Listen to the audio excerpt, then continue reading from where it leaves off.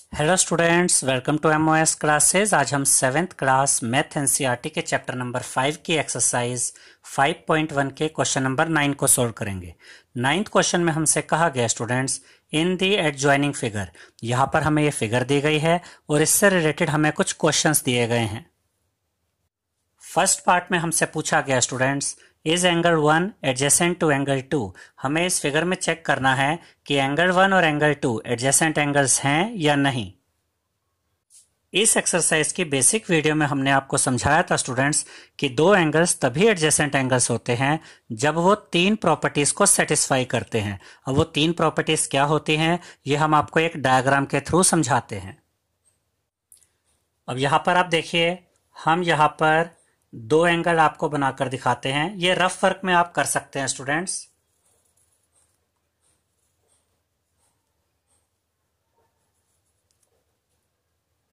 यहाँ पर आप देख सकते हैं स्टूडेंट्स कि हमने यहाँ पर दो एंगल बनाए हैं angle one and angle two और ये दोनों एंगल एडजेसेंट एंगल्स है या नहीं, इसके लिए हमें तीन चीज़ों को चेक करना पड़ेगा।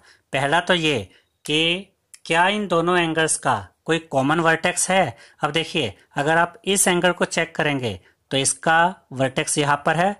और अगर आप इस एंगल को, यानी एंगल टू को चेक करते हैं तो ये भी इसी पॉइंट पर बन रहा है। देखिए एंगल वन भी इस पॉइंट पर आ रहा है और एंगल टू भी इस पॉइंट पर आ रहा है। यानी कि इन दोनों एंगल्स का एक कॉमन वर्टेक्स है। अब एक प्रॉपर्टी तो यहाँ पर सेटिस्फाई हो गई। अब आप देखिए कि यहाँ पर जो एंगल वन है, देखिए, उसमें ये दो रेज जिनको हम आर्म्स भी कहते हैं एंगल्स की, ये दो रेज यहाँ पर यूज़ हुई और एंगल टू को देखिए, ये दो रेज यहाँ पर यूज़ हुई। इन दोनों ही एंगल्स में ये वाली जो रे है, ये कॉमन है। ये इस एंगल में भी आ रही है और इस एंगल में भी आ रही है। तो दो एडजेसेंट एंगल्स की एक प्रॉपर्टी ये भी होती है स्टूडेंट्स कि इन दोनों एंगल्स में, यानी कि अगर ये दो एडजेसेंट एंगल्स हैं तो इन दोनों में एक कॉमन रे होनी चाहिए, या हम इसको ऐसे भी कह सकते हैं, इन दोनों एंगल्स में एक कॉमन आर्म होनी चाहिए। और यहाँ पर ये जो रे है, या ये जो आर्म है, ये इन दोनों ही एंगल्स में कॉमन है। एडजेसेंट एंगल्स की तीसरी प्रॉपर्टी ये होती है स्टूडेंट्स कि जो नॉन कॉमन आर्म होती है इन दोनों एंगल्स में। देखिए, ये वाली आर्म तो कॉमन आर्म है, लेकिन ये वाली आर्म और ये वाली आर्म ये दोनों नॉन कॉमन आर्म्स है। तो जो नॉन कॉमन आर्म्स होती है एडजेसेंट एंगल्स की, वो कॉमन आर्म की अलग अलग साइड पर होनी चाहिए। अब इस एंगल की ये वाली जो नॉन कॉमन आर्म है, ये देखिए, इस कॉमन आर्म के इस साइड में है, और इस एंगल की सेकेंड एंगल की जो ये नॉन कॉमन आर्म है, ये इस कॉमन आर्म के दूसरी साइड पर है। यानी कि ये दोनों एंगल्स एडजेसेंट एंगल्स की तीनों प्रॉपर्टीज़ को सेटिस्फाई कर रहे हैं तो ये दोनों एंगल्स क्या हैं? एडजेसेंट एंगल्स हैं। यानी कि इन दोनों एंगल्स का एक कॉमन पॉइंट भी है, इन दोनों एंगल्स की एक कॉमन आर्म भी है, और इन दोनों एंगल्स की जो नॉन कॉमन आर्म्स हैं, वो कॉमन आर्म के अलग अलग साइड पर है। इसलिए ये दोनों एंगल्स एडजेसेंट एंगल्स हैं। अब हम इस फिगर में देखेंगे स्टूडेंट्स कि एंगल वन और एंगल टू एडजेसेंट एंगल्स की तीनों प्रॉपर्टीज़ को सेटिस्फाई कर रहे हैं या नहीं। अब देखिए एंगल वन भी इस पॉइंट पर बन रहा है और एंगल टू भी इस पॉइंट पर बन रहा है। यानी इन दोनों एंगल्स का ये कॉमन वर्टेक्स है तो एक प्रॉपर्टी तो सेटिस्फाई हो गई। अब आप देख सकते हैं स्टूडेंट्स कि जो एंगल वन है, देखिए, ये एंगल वन है, इसमें ये जो आर्म है ओसी और यहाँ पर आप एंगल टू देख सकते हैं। ये जो एंगल टू है, इसमें भी यही आर्म ओ सी आ रही है। यानी इन दोनों ही एंगल्स में जो ओ सी आर्म है, वो कॉमन है। और एडजेसेंट एंगल की दूसरी प्रॉपर्टी यही होती है कि दोनों एंगल्स की एक कॉमन आर्म होनी चाहिए। तो यहाँ पर दूसरी प्रॉपर्टी भी सेटिस्फाई हो गई। और एडजेसेंट एंगल की तीसरी प्रॉपर्टी होती है स्टूडेंट्स कि इन दोनों एंगल्स की जो नॉन कॉमन आर्म्स होती हैं, वो कॉमन आर्म की अलग अलग साइड में होनी चाहिए। अब देखिए एंगल वन की ये वाली जो आर्म है, ये नॉन कॉमन आर्म है। तो ये इस कॉमन आर्म के इस साइड में है और एंगल टू की ये वाली जो आर्म है, ये नॉन कॉमन आर्म है और ये नॉन कॉमन आर्म इस कॉमन आर्म के इस साइड में है। तो एडजेसेंट एंगल की तीसरी प्रॉपर्टी भी सेटिस्फाई हो गई। अब क्योंकि एंगल वन और एंगल टू ने एडजेंसेंट एंगल्स की तीनों प्रॉपर्टीज़ को सेटिस्फाई कर दिया है तो हम कह सकते हैं कि एंगल वन और एंगल टू एडजेंसेंट एंगल्स हैं। तो यहाँ पर हम लिखेंगे यस कि एंगल वन और एंगल टू एडजेंसेंट एंगल्स हैं। सेकेंड पार्ट में हमसे पूछा गया students is angle A O C adjacent to angle A O यानी कि हमें यह बताना है स्टूडेंट्स कि इस फिगर में एंगल ए ओ सी यानी कि ये वाला एंगल। एंगल ए ओ सी और कुछ नहीं है, बल्कि एंगल वन ही है। क्या ये एंगल और एंगल ए ओ ई यानी कि ये कंप्लीट एंगल, क्या ये दोनों एंगल्स एडजेसेंट एंगल्स हैं या नहीं? अब ध्यान से समझिएगा स्टूडेंट्स, पहला एंगल जो यहाँ पर हमें कहा गया वो है एंगल ए और दूसरा एंगल है एंगल ए देखिए, एंगल एओसी वो तो यहाँ पर है। एंगल वन ही एंगल एओसी है। और दूसरा एंगल है एंगल एओई देखिए एंगल ए ओ ई यानी कि यहाँ से यहाँ तक ये कंप्लीट एंगल ठीक है स्टूडेंट्स अब हम चेक करेंगे स्टूडेंट्स कि एंगल ए और एंगल ए ये दोनों एंगल्स एडजेसेंट एंगल्स की तीनों प्रॉपर्टीज़ को सेटिस्फाई कर रहे हैं या नहीं? तो पहली प्रॉपर्टी तो ये होती है एडजेसेंट एंगल्स की कि उन दोनों का एक कॉमन वर्टेक्स होना चाहिए। अब देखिए एंगल ए ओ सी भी ओ पॉइंट पर बन रहा है और एंगल ए ओ ई यानी यहाँ से लेकर यहाँ तक ये कंप्लीट एंगल ये भी ओ पॉइंट पर बन रहा है। यानी कि इन दोनों का एक कॉमन वर्टेक्स है तो एक प्रॉपर्टी तो इन्होंने सेटिस्फाई कर दी। अब दूसरी प्रॉपर्टी ये होती है स्टूडेंट्स के एडजेसेंट एंगल्स में कॉमन साइड भी होनी चाहिए। अब देखिए ए ओ सी में ए और ए आ रही है और ए ओ ई एंगल में भी ए और ए आ रही है। यानी इन दोनों में कॉमन रे है, जिसको हम कॉमन आर्म भी कह सकते हैं, और वो कॉमन रे है ए ओ जिसको आप ए ओ भी कह सकते हो और ओ ए भी कह सकते हो। तो एंगल ए ओ सी और एंगल ए ओ ई ने दूसरी प्रॉपर्टी भी सेटिस्फाई कर दी एडजेसेंट एंगल्स की। अब हम तीसरी प्रॉपर्टी देखते हैं। एडजेसेंट एंगल्स की तीसरी प्रॉपर्टी यह होती है स्टूडेंट्स कि जो नॉन कॉमन आर्म्स होती हैं इन दोनों एंगल्स की, वो कॉमन आर्म के अलग अलग साइड पे होनी चाहिए। अब इन दोनों एंगल्स की कॉमन आर्म तो ये रही ए ओ अब ये देखिए, ये जो एंगल ए ओ सी है, इसकी जो नॉन कॉमन आर्म है वो है ओ सी और एंगल ए और ई को देखिए, इसकी जो नॉन कॉमन आर्म है, वो है ओ ई अब ये जो दोनों नॉन कॉमन आर्म्स हैं, ये इस कॉमन आर्म की अलग अलग साइड में नहीं है, बल्कि ये दोनों ही नॉन कॉमन आर्म्स इस कॉमन आर्म की एक ही साइड पर हैं। इसलिए जो तीसरी प्रॉपर्टी है एडजेसेंट एंगल्स की, वो यहाँ पर सेटिस्फाई नहीं हुई।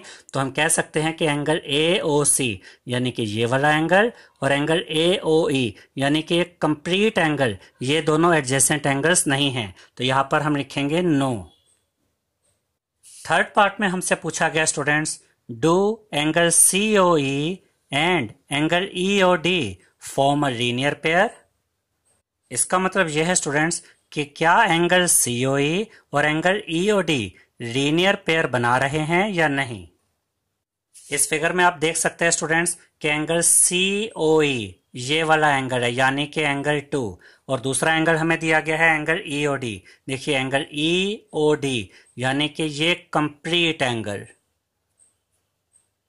अब हमें यह बताना है कि ये वाला एंगल सीओई और ये वाला जो कंप्लीट एंगल ये वाला है एंगल ई ओ डी ये दोनों मिलकर, यानी कि ये वाला एंगल और ये वाला एंगल क्या ये मिलकर लीनियर पेयर बना रहे हैं या नहीं?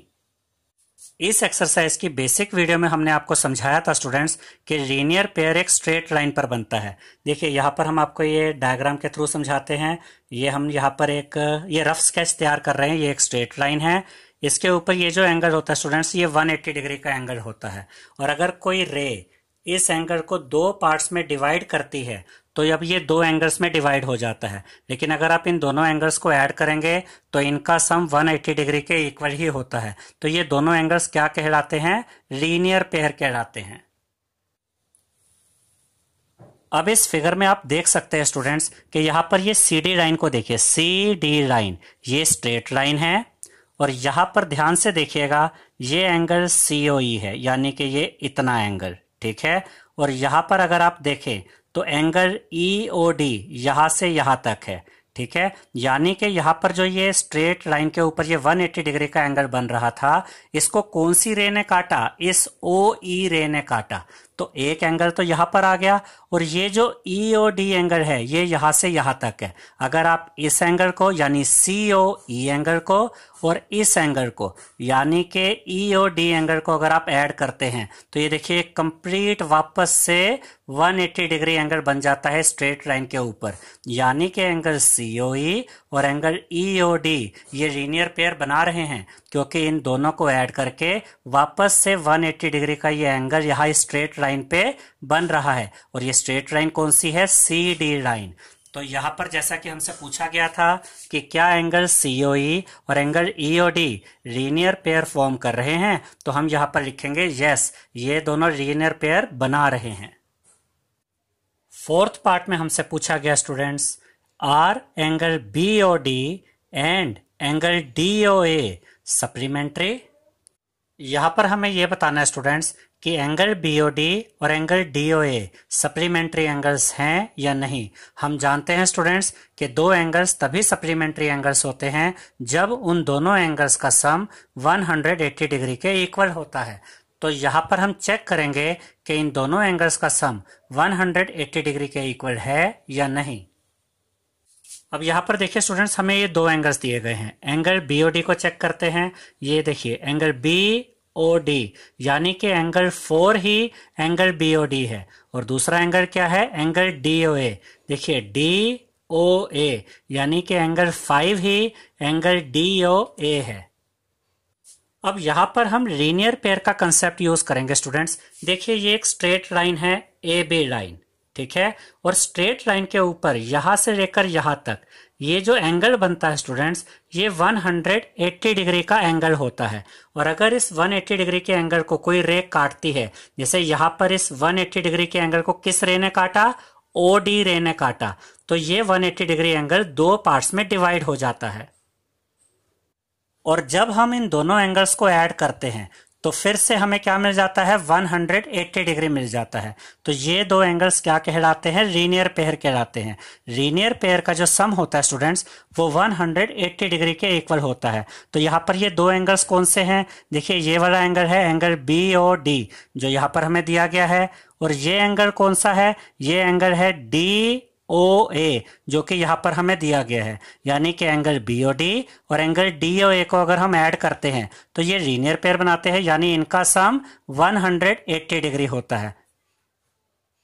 लेकिन हमें तो ये बताना है कि क्या ये दो एंगल्स सप्लीमेंट्री एंगल्स हैं या नहीं? तो भी अभी हमने क्या प्रूव किया स्टूडेंट्स अभी हमने ये बताया कि ये दोनों एंगल्स लीनियर पेयर बना रहे हैं। यानी इन दोनों एंगल्स का सम 180 डिग्री है। अब अगर इन दो एंगल्स का सम 180 डिग्री के इक्वल है तो ये दोनों एंगल्स सप्लीमेंट्री एंगल्स भी होंगे, क्योंकि दो सप्लीमेंट्री एंगल्स का सम 180 डिग्री के इक्वल होता है। तो यहाँ पर आंसर में हम लिखेंगे यस यानी कि एंगल बीओडी और एंगल डीओए सप्लीमेंट्री एंगल्स हैं, क्योंकि इन दोनों एंगल्स का सम 180 डिग्री के इक्वल है। और इन दोनों एंगल्स को सप्लीमेंट्री शो करने के लिए, यानी इन दोनों एंगल्स का सम 180 डिग्री के इक्वल दिखाने के लिए, हमने यहाँ पर लीनियर पेयर के कंसेप्ट को यूज़ किया है। फिफ्थ पार्ट में हमसे पूछा गया students is angle one vertically opposite to angle four इस पार्ट में हमें यह बताना है कि एंगल वन और angle four vertically opposite angles हैं या नहीं। अब हम देखेंगे कि वर्टिकली अपोजिट एंगल्स क्या होते हैं। ध्यान से देखिएगा स्टूडेंट्स जब दो लाइंस एक दूसरे को किसी एक पॉइंट पर इंटरसेक्ट करती हैं तो यहाँ पर देखिए, ये एंगल और ये एंगल ये वर्टिकली अपोजिट एंगल होंगे और आपस में इक्वल भी होंगे। ऐसे ही ये एंगल और ये एंगल ये दोनों एंगल्स भी वर्टिकली अपोजिट एंगल्स होंगे और आपस में इक्वल भी होंगे। अब यहाँ पर ध्यान से देखिए। यहाँ पर एक लाइन आपको नज़र आ रही है ए बी लाइन, और दूसरी लाइन है सी डी लाइन, और ये दोनों लाइंस एक दूसरे को ओ पॉइंट पर इंटरसेक्ट कर रही हैं। अब आप इजीली चेक कर सकते हैं कि एंगल वन और एंगल फोर ये दोनों ही वर्टिकली अपोजिट एंगल्स हैं। तो यहाँ पर हम लिखेंगे yes angle one and angle four ये दोनों ही वर्टिकली अपोजिट एंगल्स हैं। सिक्स पार्ट में हमसे पूछा गया students what is the vertically opposite angle of angle five यानी कि हमें यह बताना है कि इस फिगर में एंगल फाइव का वर्टिकली अपोजिट एंगल कौन सा है? इस फिगर में आप देख सकते हैं स्टूडेंट्स कि ए बी लाइन और सी डी लाइन एक दूसरे को ओ पॉइंट पर काट रहे हैं। तो आप सिंपली चेक कर सकते हैं कि एंगल फाइव देखिए, यहाँ से यहाँ तक है। तो इसके वर्टिकली अपोजिट एंगल कौन सा होगा? इसके वर्टिकली अपोजिट एंगल यहाँ से यहाँ तक होगा। और ये जो एंगल है, जो कि एंगल फाइव के वर्टिकली अपोजिट है, ये कितने पार्ट में बटा हुआ है? दो पार्ट्स में बटा हुआ है। एंगल टू और एंगल थ्री में। तो अगर हमें एंगल फाइव का वर्टिकली अपोजिट एंगल बताना है तो हमें यहाँ से यहाँ तक ये एंगल बताना होगा और ये सम करके आएगा, ये ऐड करके आएगा इन दोनों एंगल्स को। तो यहाँ पर हम आंसर में लिखेंगे vertically opposite angle of angle five is angle two plus angle three यानी कि एंगल फाइव का जो वर्टिकली अपोजिट एंगल है, वो एंगल टू और एंगल थ्री के सम के इक्वल है। आई होप स्टूडेंट्स आपको हमारा ये वीडियो पसंद आया होगा। अगर आपको हमारा ये वीडियो पसंद आया है तो इसे लाइक शेयर और सब्सक्राइब कीजिए। Thank you